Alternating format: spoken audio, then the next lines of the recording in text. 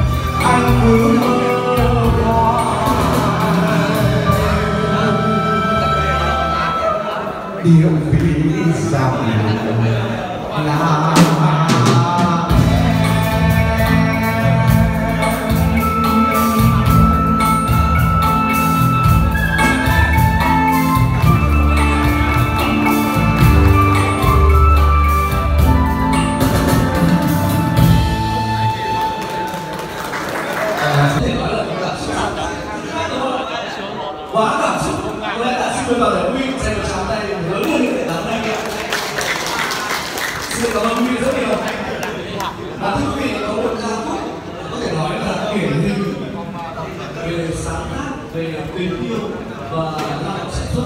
Đây là